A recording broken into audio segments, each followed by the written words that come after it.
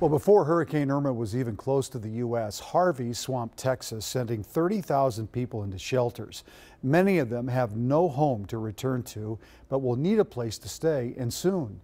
Now, one group of Minnesota architects is building a potential solution. Brian Pyatt has the story.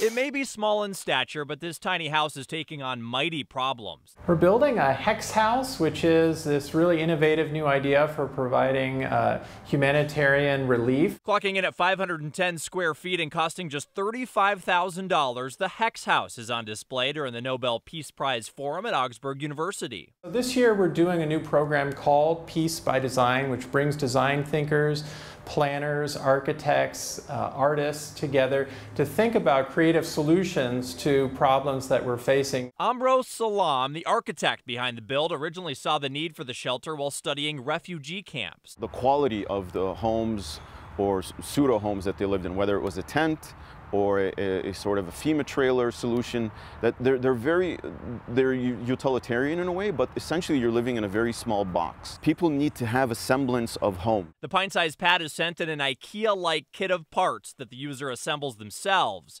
Construction takes about five days, but once it's done... There's two bedrooms, uh, a kitchen, a bathroom, and a living space, and then an outdoor porch. This hex house is the first of its kind, and the welcome mat will be rolled out for visitors at the Augsburg University Nobel Peace Prize Forum Friday to Saturday, and you can check out other innovations on campus all weekend long.